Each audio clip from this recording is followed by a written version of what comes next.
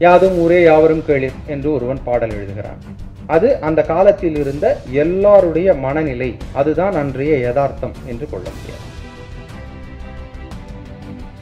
குறைந்தபட்சம் சங்க இலக்கியத்துக்கு சொல்லும்போது இந்த குறிப்பு அதியன் அவ்வை நெல்லிக்கனி சற்றேறக்குறைய அந்த பெருங்கல் பாறைகள் ஒருவேளை இது தர்மபுரி கிருஷ்ணகிரியாக இருக்க வாய்ப்பு இருக்கிறது என்று நாம் யூகிக்கிறோம் இல்லையா? அப்படி யூகிக்க முடியாது.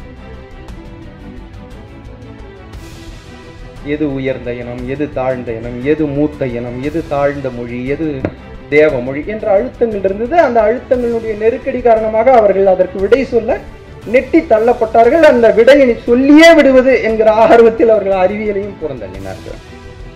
தமிழகத்தில் வட இந்திய பகுதிகளிலிருந்து வந்த புரோகிதர்களுக்கு சோழராட்சியில் தான் பிரம்மதேயங்கள் வழங்கப்பட்டது அப்படின்னு ஒரு குறிப்பு இருக்குது இதை நம்ம பல முறை கேள்விப்படுறோம்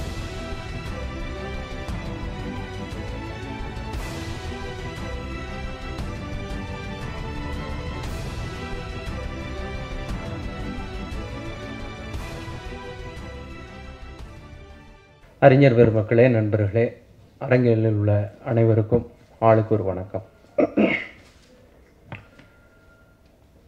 அறிஞர் நொபுரு கராஷிமா அவர்களுடைய மறைவை எப்படியான நினைவாக இனி வருகிற காலத்தோடு நாம் எடுத்து செல்ல போகிறோம் என்கிற கோணத்தில் நான் என்னுடைய பதிவை என்னுடைய கோணத்தில் இருந்து ஒரு ஆய்வாளனாக இங்கே வைக்கலாம் என்று நினைக்கிறேன். ஏனென்றால் சற்றேறக்குறைய சில இடைநிலை இதழ்கள் நாளிதழ்கள் பருவ இதழ்கள் எல்லாவற்றிலுமே நொபுரு கராஷிமா பற்றிய ஒரு குறிப்பு சிறிய அளவிலேனும் வந்துவிட்டது. கடந்த ஒரு பத்தாண்டுகளில் ஏற்பட்ட ஒரு மாற்றம்தான் இது தமிழகத்தில். அதற்கு முன்பு இப்படியான வெகுசன இதழ்களிலெல்லாம் அப்படியான குறிப்புகள் வருவதில்லை. இப்போது அப்படியான ஒரு சிறு மாற்றம் வந்திருக்கிறது அது மகிழ்ச்சி. அதற்கு பின் பல ஆண்டுகால பல பொதுநலம் கருதிய உழைப்பாளர்களின் பங்கு இருக்கிறது. நல்லது. நொகுரு கராஷிமா என்கிற அறிஞர் தமிழியல் அல்லது தென்னிந்திய வரலாறு எழுதியல் ஹிஸ்டரியோகிராஃபி என்று சொல்லப்படுகின்ற வரலாறு எழுதியல் என்கிற துறையில் அக்கறை கொண்ட ஒரு அறிஞர். என்ன தந்து விட்டு போனார் தமிழ் சமூகத்திற்கு? இதை இனி வரப்போகிற நூறாண்டுகளுக்கோ ஆயிரம் ஆண்டுகளுக்கோ நாம் எப்படி ஒரு தொடர் ஓட்டமாக ஒரு சுடர் ஏந்தி தொடர் ஓட்டமாக ஆய்வுத்துறையிலோ பொது நினைவிலோ எப்படி கொண்டு போய் சேர்க்க போகிறோம்? பொதுவாக வரலாறு எழுதுவதற்கு முதன்மையான ஆதாரமாக இதுவரைக்குமான வரலாறு எழுதியலில் பிரிட்டிஷ் வரலாற்று ஆய்வாளர்கள் உருவாக்கிய மரபின்படி முதன்மை ஆதாரமாக இலக்கிய பதிவுகள் அதிகமாக பயன்படுத்தப்பட்டிருக்கின்றன. அதில் வேறு தரவுகள் எல்லாம் பயன்படுத்தப்பட்டன. புதிது புதிதாக வருகிற அறிவியல் துறைகளின் தரவுகள் பயன்படுத்தப்பட்டன. அவ்வப்போது புதுப்பித்துக் கொள்ளப்பட்டது அந்த சட்டகம் என்ற போதும் முதன்மையான தரவாக இலக்கிய தரவுகள் தான் பயன்படுத்தப்பட்டன. இலக்கிய தரவுக்குள் என்ன இருக்கும் என்றால் மனிதனுடைய உணர்வு இருக்கும். அந்த மனிதனுடைய கோணத்திலான சமூகம் பற்றிய பதிவு இருக்கும். அந்த சமூகத்தினுடைய பொதுவான புத்தி அல்லது காமன் சென்ஸ் அல்லது அந்த நேரத்தில் இருக்கிற மனநிலை மொத்த பொது சமூகம் அல்லது தனிநபர் அல்லது மன்னன் அல்லது அமைச்சன் யாரோ ஒருவன். அவனை பற்றிய பதிவு இருக்கும். இந்த தரவை கொண்டு ஒரு வரலாற்றை கட்டமைப்பதில் எந்த சிக்கலும் இல்லை என்றே நம்பி வந்தார்கள் மரபு வழியான அறிஞர்கள். இதில் எங்கு சிக்கல் வந்ததென்றால் புலவன் கவிஞன் ஒரு பாவலன் ஒரு இலக்கிய பதிவை செய்கிற போது அதில் அவனுடைய சாய்வு இருக்கிறது. அவனுடைய ஒரு கோணம் அவனுடைய ஒரு விருப்பம் அதில் இருக்கிறது. இந்த சமூகம் இன்னும் நீதியாக இருக்க வேண்டும். இந்த சமூகம் இன்னும் அறமயப்பட்டு இருக்க வேண்டும். இந்த சமூகம் இன்னும் பெருந்தன்மையாக நடந்து கொள்ள வேண்டும். இந்த சமூகம் உணவை எல்லாரோடும் பகிர்ந்து கொள்ள வேண்டும். இந்த சமூகம் பாலியல் ஒழுங்காக நடந்து கொள்ள வேண்டும். பெண்களை நீதியோடு நடத்த வேண்டும் என்பது போன்ற சாய்வுகள் இதில் இருந்தன. இந்த சாய்வுகள் ஒரு யதார்த்தத்தை கள நிலவரத்தை பிரதிபலிப்பதில் நூறு சதவீதம் துல்லியமானவையா என்றால் இல்லை. இப்படி ஒரு அடிப்படையான பிரச்சனை இலக்கியத்தை சார்ந்து வரலாறு எழுதுவது என்கிற வரலாறு எழுதியல் ஆசிரியர்களுக்கு உருவாகிறது. யாதும் ஒரே யாவரும் கேளிர் என்று ஒருவன் பாடல் எழுதுகிறான். அது அந்த காலத்தில் இருந்த எல்லாருடைய மனநிலை. அதுதான் அன்றைய யதார்த்தம் என்று கொள்ள முடியாது. அது ஒரு புலவனுடைய மனநிலை. அது ஒரு விருப்பம். அது ஒரு ஏக்கம். அந்த இயக்கத்தை கொண்டு அந்த கிமு முதல் நூற்றாண்டோ அல்லது கிபி ஒன்றாம் நூற்றாண்டோ இரண்டாம் நூற்றாண்டோ தமிழ் சமூகம் மொத்த உலகத்தையே இப்படி பார்த்தது. அங்க இருந்த மொத்தம் சரி இன்றைக்கு எண்ணிக்கை வேண்டாம். அன்றைக்கு ஒரு ஐம்பதாயிரம் பேரோ ஒரு லட்சம் பேரோ இப்படி சிந்தித்தார்கள் என்று முடிவுக்கு ஒரு வரலாறு எழுதியல் ஆசிரியன் வர முடியாது. ஆனால் சங்க இலக்கியம் பாட்டும் தொகையும் மாதிரியான ஒரு தொகை மிக அதிகமான தரவுகளை தந்தது. ஏனென்றால் அது அடிப்படையிலேயே திணையை அடிப்படையாக கொண்ட ஒரு இலக்கிய பதிவாக இருந்ததனால் மிக அடிப்படையாக அதில் காலம் இடம் பற்றிய விவரங்கள் ஏராளமாக இருந்தன. அந்த காலத்திற்கும் இடத்திற்கும் இடைப்பட்ட உயிரினங்கள் மரங்கள் செடிகள் கொடிகள் பல்வேறு நுண்ணுயிர்கள் எல்லாம் பற்றிய விவரங்கள் அதில் இருந்தன. எனினும் அதை கடந்து அதற்குள் புலவனுடைய சாய்வு இருந்தது. இந்த ஓட்டம் கொஞ்சம் கொஞ்சமாக மாறி பக்தி இயக்கம் காவிய காலம் என்று வருகிற போது அந்த சாய்வு புலவனுடைய சாய்வு கள நிலவரத்தை முற்றிலுமாக துறந்துவிட்டு முற்றிலுமாக வேறு ஒரு எல்லையில் போய் இலக்கியத்தை மானுடத்தை பார்க்க தொடங்குகிறது. ஒரு சான்றாக சொல்றேன். இப்ப நபுர்கராஷிமானுடைய வருகையை நான் என் கோணத்தில் விளக்கிறதுக்காக இந்த அறிமுகத்தை கொடுக்கிறேன். ஒன்பதிலிருந்து பதிமூணாம் நூற்றாண்டு காலகட்டத்தில் உருவாகிற ஒரு தமிழ் சமூகம் அல்லது தென்னிந்திய நிலவியல் அங்கு இருக்கிற பண்பாடு மக்கள் அரசு இதெல்லாம் எப்படி இருக்கு என்பதை புரிந்து கொள்ள நீங்க பாருங்க. அன்னைக்கு இருக்கிற மிகப்பெரிய இலக்கியம் ஒரு பெருங்காவியம் கம்பராமாயணம். அல்லது கம் ராமாவதாரம்னு வச்சுக்கோ அதுக்கு பேர் ராமாவதாரம். அது ஒரு காவியமாக இலக்கிய சுவையில் அழகியல் உணர்ச்சியில் அணிநயத்தில் சொல்லும் முறையில் எடுத்துரைப்பில் எல்லாவற்றிலும் தமிழினுடைய ஒரு உச்சமாக இருக்கிறது என்ற பார்வை உண்டு. எனக்கும் அதில் உடன்பாடு. ஆனால் ஒன்பது பதிமூணாம் நூற்றாண்டுக்கு இடைப்பட்ட தமிழ் சமூகத்தினுடைய எந்த நிகழ்கால குறிப்புகளையும் நீங்கள் ராமாயணத்திலிருந்து எடுக்க முடியாது. சங்க இலக்கியத்திலிருந்து நீங்கள் ஒரு திணை சமூகத்தினுடைய குறிப்புகளை எடுத்து வரலாறு கட்டி எழுப்புவது போல ராமாயணத்திலிருந்து ராமாவதாரத்திலிருந்து அது எந்த சமூகத்தினுடைய பொருள் உற்பத்தியிலிருந்து அரசாட்சியிலிருந்து நிர்வாகத்திலிருந்து சமூக பண்பாட்டு பொருளாதார வலைப்பின்னலிலிருந்து உருவாயிற்றோ அந்த வலைப்பின்னலின் எந்த தகவலையும் நீங்கள் ராமாவதாரத்திலிருந்து எடுக்க முடியாது. அது ஒரு காலமற்ற காலத்தில் இயங்குகிற ஒரு புனைவாக இருக்கிறது. அது இடமற்ற ஒரு இடத்தில் இயங்குகிற ஒரு புனைவாக இருக்கிறது. சிலதை இது இதுவாக இருக்கக்கூடும் என்று நாம் யூகிக்கலாம். ஆனால் அது அதுதான் என்று உறுதியாக சொல்ல முடியாது. குறைந்தபட்சம் சங்க இலக்கியத்துக்கு சொல்லும்போது இந்த குறிப்பு அதியன் அவ்வை நெல்லிக்கனி சற்றேறக்குறைய அந்த பெருங்கல் பாறைகள் ஒருவேளை இது தர்மபுரி கிருஷ்ணகிரியாக இருக்க வாய்ப்பு இருக்கிறது என்று நாம் யூகிக்கிறோம் இல்லையா? அப்படி யூகிக்க முடியாது. இந்த பகுதி இந்த விஷயம் நெய்தல் இந்த இது பூம்புகார் அதுவாக இருக்க வாய்ப்பு இருக்கிறது என்று யூகிக்கிறோம் இல்லையா? அப்படி யூகிக்க முடியாது. அப்படியானால் ஏற்கனவே வைக்கப்பட்ட முதன்மை ஆதாரமாக இருக்கிற இலக்கியம் என்பது ஒரு பெருங்காப்பிய நிலையை அடையும் போது பேரரசு காலத்தில் உருவாகிற பெருங்காப்பிய நிலை வேறொரு நிலப்பரப்பில் இருந்து வருகிற கருத்து பொருளை உள்வாங்கி ராமன் அயோத்தி இன்னும் பற்பல கருத்துகள் இதையெல்லாம் உள்வாங்கி அது கட்டமைக்கப்படும் போது முற்றிலுமாக அது எந்த மொழி மண்டலத்தில் உருவாகிறதோ அங்கிருந்து எல்லா விவரங்களையும் அது திறந்து விட்டு வேறு ஒன்றை அது கவனம் செய்கிறது. வேறு இலக்குகளை அது சிறப்பாக நிறைவு செய்தது. அதெல்லாம் மறுக்க முடியாது. அதனுடைய இலக்கிய சுவை அழகியல் மொழி மரபு தொடர்ச்சி கலைச்சுவை அதெல்லாம் ரொம்ப சிறப்பாக இருந்தது. இந்த இடத்தில்தான் நொபுரு கராஷிமா அரசுகள் வெளியிட்ட கல்வெட்டு தரவுகளை மிக அதிகமாக பயன்படுத்தினார். அந்த கல்வெட்டு தரவுகளில் இருந்து மன்னர்களை மையமிட்ட ஒரு வரலாறு என்பதை தாண்டி இந்த தமிழ் சமூகத்தின் பெரும்பான்மையாக இருக்கிற மக்கள் கூட்டம் எப்படி இயங்கியது? அவர்கள் எப்படி உற்பத்தியில் ஈடுபட்டார்கள்? அவர்கள் எப்படி வருவாய் ஈட்டினார்கள்?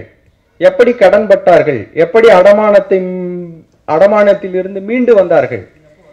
எப்படி தற்கொலை செய்து கொண்டார்கள்? ஏதேனும் ஒன்று. என்னென்னலாம் அதுல இருந்து கல்வெட்டுகள்ல இருந்து அவருக்கு கிடைக்குதோ அதிலிருந்து தரவுகளை எடுத்து ஒரு வரலாற்றை கட்டமைப்பதற்கான தாது பொருள்களை மூலப்பொருள்களை திரட்டி கொண்டார். இதுதான் நொபுரு கராஷிமா என்கிற ஒரு தமிழியல் அறிஞர். ஜப்பானிலிருந்து தமிழகத்திற்கு வந்து தமிழகம் இந்தியாவினுடைய பல்வேறு பகுதிகளில் அவர் பயணம் செஞ்சார். பெங்களூரில் கல்வெட்டு துறையோட தொடர்பில் இருந்தார். இதெல்லாம் நமக்கு அன்றாட செய்தித்தாள் அடிப்படையிலேயே தெரியும். அப்ப இந்த ஒன்பதிலிருந்து பதிமூணாம் நூற்றாண்டு என்று சொல்லப்படுகின்ற வரலாற்றில் மிக முக்கிய கட்டமாகிய இடைக்காலம் மத்திய காலம்னு சொல்லுவோம். மிடிவல் பீரியட் இந்த மிடிவல் பீரியடில் இந்தியா முழுக்க மிகப்பெரிய மாற்றங்கள் நடக்குது. இந்த மிகப்பெரிய மாற்றங்களில் தமிழ் சமூகம் ஒரு மிக முக்கியமான மண்டலம் என்று நாம வரலாற்று ரீதியாக உரிமை கொண்டாடி கொண்டிருக்கிறோம். சங்க இலக்கியத்தின் அடிப்படையில் தொல்காப்பியத்தின் அடிப்படையில். ஆனால் இடைக்காலத்தில் ஏதேனும் உங்களுக்கு குறிப்புகள் இருக்கா? அறிவியல் பூர்வமாக நிறுவக்கூடிய குறிப்புகள் இருக்கா? எல்லோரும் ஒப்புக்கொள்ளக்கூடிய குறிப்புகள் இருக்கா? என்றால் அந்த இடத்தில்தான் நம்மளுடைய மரபு வழி தமிழறிஞர்கள் பலருக்கும் தகவல் இல்லாமல் இருக்கு. அவர்கள் இலக்கியத்துக்குள்ளிருந்தே தோண்டி எடுக்கிற ஒரு போக்கிலேயே நின்றுட்டு இருக்காங்க வேற எதுவும் போக முடியல அவங்களால. ஏன்னா பிற துறை அறிவுகள் குறைவாக இருந்தது வேற நிறைய சிக்கல்கள் இருந்தது. அந்த இடத்தில் நொபுரு கராஷிமாவும் அவரை போன்ற வேறு சில தமிழறிஞர்களும் மிகச்சிறப்பாக கல்வெட்டியல் ஆய்வு தரவுகளை பயன்படுத்தினார்கள். சரி கல்வெட்டு ஆய்வு தரவுகளை நொபுரு கராஷிமா போலவே பிறரும் பயன்படுத்தினாங்க. சதாசிவ பண்டாரத்தார் போன்றவர்கள்லாம் பயன்படுத்தினாங்க. என்ன அதில் இன்னும் நுட்பமான தனித்துவம் ஒரு ஒரு ஒரு ஸ்டெப் அஹெட்னுவாங்களே ஒரு ஒரு அடி அதற்கு மேலே அப்படின்னா மறுபடியும் ஆய்வுக்குள்ள ஒரு ஆய்வாளருக்கு வருகிற சப்ஜெக்டிவ் அகம் சார்ந்த சாய்வு இருக்கு இல்லையா? அந்த சாய்வை நொகுரு கராஷியமா கடந்தார். எப்படி கடந்தார்? வழக்கமாக நம்மளுடைய மரபு வழி தமிழறிஞர்கள் கல்வெட்டு தரவுகளை பயன்படுத்தும் போதும் அந்த ஒன்றோ இரண்டோ மூன்றோ நான்கோ பத்தோ இருபதோ ஆன கல்வெட்டுகளை பயன்படுத்தி தங்கள் கோணத்தில் அவர்கள் தங்கள் விருப்பத்தை ஏன்னா அப்படியான ஒரு விருப்பத்தை வெளிப்படுத்துவதற்கான நெருக்கடி வெளியில் இருந்திருந்தது எது உயர்ந்த இனம் எது தாழ்ந்த இனம் எது மூத்த இனம் எது தாழ்ந்த மொழி எது தேவ மொழி என்ற அழுத்தங்கள் இருந்தது. அந்த அழுத்தங்களுடைய நெருக்கடி காரணமாக அவர்கள் அதற்கு விடை சொல்ல நெட்டி தள்ளப்பட்டார்கள். அந்த விடையினை சொல்லியே விடுவது என்கிற ஆர்வத்தில் அவர்கள் அறிவியலையும் புறந்தள்ளினார்கள். அறிவியலை தாண்டி ஒரு ஸ்டெப் வச்சாங்க. ஆனால் நுகுருகராஷிமா கல்வெட்டுகளில் இருந்து கிடைத்த அந்த தரவுகளை அவருக்கு புதிதாக அறிமுகமாயிருந்த புள்ளியியல் துறையின் அடிப்படையில் வகைதொகைப்படுத்தி கொண்டார். ஸ்டாட்டிஸ்டிக்ஸ் டிபார்ட்மெண்ட் அந்த புள்ளியியல் துறையின் முறையியல் மெத்தடாலஜி அடிப்படையில் அவர் அதை வகைதொகைப்படுத்தி கொண்டதனால் அவருடைய சாய்வை முற்றிலுமாக விலக்கி கொண்டு அதை அவருக்கு அப்பாலான ஒரு கம்ப்யூட்டர் போன்ற ஒரு சிஸ்டம் போன்ற ஒன்றாக வலுவாக அவரால் நிறுவ முடிந்தது. அதிலிருந்து ஒரு உண்மையை அவர் நிலைநாட்டி இந்த இடத்தில் இது நிகழ்ந்திருக்கிறது என்பதை சொல்லுவதற்கான முயற்சியை மேற்கொண்டார். அப்படி என்ன விஷயங்கள்லாம் எடுத்தாரு இடைக்காலத்திலிருந்து மத்திய காலத்திலிருந்து? இப்ப நமக்கு ஒரு ரெண்டு மூணு குறிப்புகள் சொன்னா புரியும். தமிழகத்துல வட இந்திய பகுதிகளிலிருந்து வந்த புரோகிதர்களுக்கு சோழர் ஆட்சியில் தான் பிரம்மதேயங்கள் வழங்கப்பட்டது அப்படின்னு ஒரு குறிப்பு இருக்கு. இது நம்ம பல முறை கேள்விப்படுறது. பிரம்மதேயமாக வழங்கப்பட்ட ஒரு ஊருக்கும் பிரம்மதேயமாக வழங்கப்படாத இயல்பான முறையில் இயங்குகிற அந்த ஊரினுடைய வரலாற்று தன்மையிலிருந்து முகிழ்த்து வந்த ஒரு ஊருக்கும் இருக்கிற பொருளியல் பண்பாட்டியல் வரலாற்றியல் அம்சங்கள் என்ன? அப்படின்னு ஆராய்ச்சி செஞ்சார் இசைஞானமங்கலம்ங்கிற பிரம்மதேவ ஊருக்கும் அல்லூருங்கிற ஊருக்கும் ஒப்பீடு செஞ்சு பார்த்தார் அதில் அவர் நிறைய விஷயங்களை கருதுகோள்களாக வச்சார். இதெல்லாம் முடிந்த முடிவுகளெல்லாம் வைக்கல அவர். கருதுகோள்களாக வச்சார். பலரும் முடிந்த முடிவுகளோடு ரொம்ப குறைந்த சான்றுகளோடு பேசிக் கொண்டிருந்த போது அவர் அதற்கு முன்பு இருந்ததை விட பல மடங்கு தரவுகளோடு ஆனால் முடிந்த முடிவுகளாக வைக்காம கருதுகோள்களாக வச்சார். இந்த ஆய்வு நடுவு நடுவு நிலைமை அல்லது விலகி நின்று ஒன்றை முன்வைப்பது அடுத்து வருகிற ஆய்வு தலைமுறையிடம் முடிவை எடுக்கும் உரிமையை அல்லது குறைந்தபட்சம் அந்த விஷயத்தை வியாக்கியானம் செய்கிற பொழிப்புரை செய்கிற வாய்ப்பை வழங்குவது என்கிற நடுவு நிலை. தன்னையும் விலக்கி கொண்டு தான் எடுத்து தருகிற தரவுகளையே வைத்துவிட்டு நீங்க முடிவு செய்யுங்க. எனக்கு இது இப்படிப்படுது நீங்க எப்படின்னு பாருங்க என்பது போல. அந்த இடைக்காலம் பற்றிய அவருடைய ஆய்வுகள் அதுவும் குறிப்பாக சோழர்களுடைய காவிரி படுகை சார்ந்த மிகப்பெரிய பொருளியல் கட்டுமானங்கள் எப்படி உரு உற்பத்தி ஆயிற்று குறிப்பாக அவர்களுடைய நிர்வாக முறை வருவாய் எப்படி உருவானது வருவாய்த்துறை பற்றிய கலை சொற்கள்லாம் எல்லாம் எப்படி கலை கல்வெட்டுகளில் இடம்பெற்றிருக்கு அந்த கலை சொற்களை எல்லாம் திரட்டி ஒரு பட்டியலிட்டுக் கொள்வதன் மூலமாக அந்த பட்டியலிலிருந்து ஏதேனும் பொது உண்மைகளை கண்டுபிடிக்க முடியுமா? இப்படியான ஒரு நம்ம இப்போ பொதுவாக ஒரு பெருமிதம் சொல்கிறோம் இல்லையா? அரசனுடைய வீரம். அவன் இவ்வளவு தொலைவு போனான் இவ்வளவு தொலைவு வந்தான்னு அரசனை மையமிட்டு சொல்கிறோம் இல்லையா? அப்படி மட்டும் இல்லாமல் அந்த பொருளியல் கட்டுமானம் எப்படி இயங்குச்சு? இங்கே கிடைக்கிற வெறும் சொல்லடைவுகளை வச்சு பார்த்தா இது என்னவாக இருக்க முடியும் என்று யூகிப்பது.